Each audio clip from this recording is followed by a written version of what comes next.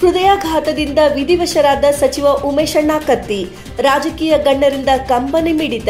ಮುಖ್ಯಮಂತ್ರಿ ಬಸವರಾಜ ಬೊಮ್ಮಾಯಿ ಸೇರಿದಂತೆ ಹಲವಾರು ಸಚಿವರು ಆಗಮಿಸಿ ಪಾರ್ಥಿವ ಶರೀರಕ್ಕೆ ನಮನ ಸಲ್ಲಿಸಿದ್ದಾರೆ.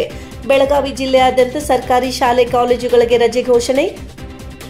ಸಚಿವರನ್ನು ಅಗಲಿದ ನೋವಿನಿಂದ ಜನರು ಕಂಬನಿ ಮಿಡಿಯುತ್ತಿದ್ದಾರೆ. ಈ ಭಾಗದಲ್ಲಿ ಜನರು ಅಂಗಡಿಗಳನ್ನು ಬಂದ್ ಮಾಡಿ ತಮ್ಮ ನೆಚ್ಚಿನ ನಾಯಕನಿಗೆ ಗೌರವ ಸಮರ್ಪಿಸುತ್ತಿದ್ದಾರೆ.